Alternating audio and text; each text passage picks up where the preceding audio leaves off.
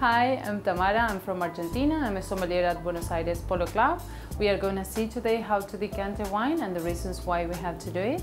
The first reason is when we have a young wine and we would like to open up and let it breathe. So the best option is uh, if it's a bigger wine, sometimes young wines are very tannic. So as soon as we get in oxygen into the wine, so it's gonna open up and it's gonna develop more the aromas of the wine and it gets mellow and softness uh, to be ready to drink. So the second reason mainly is when we have an old wine. So this wine maybe is stored in a cellar for 15, 20 or 30 years. So it becomes inside the wine some sediment. Uh, in this case, we would like to separate the sediment from the wine. So the use of the candle, it helps us to see very clear when the sediment is approaching to the neck to the bottle. So we would like to get finally in the decanter a clean and nicely wine for the guest.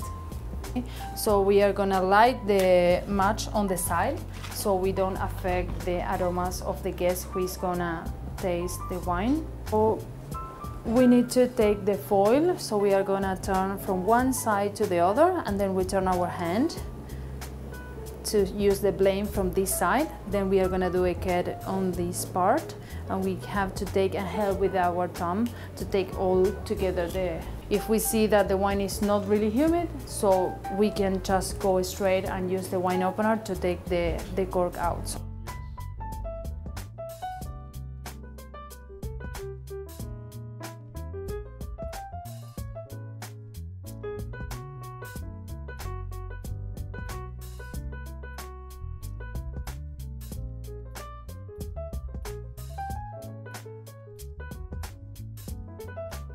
First, we are going to clean the top of the bottle and we are going to pour just a tiny amount of wine to taste the wine.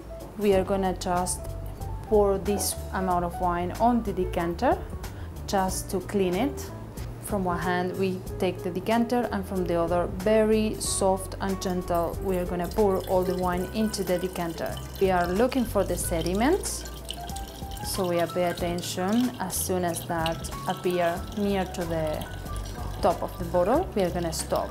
So now we are gonna just serve for the guests to taste once we, the guest is approved. So we are gonna serve to all the people on the table. So here is the decanter process. Cheers.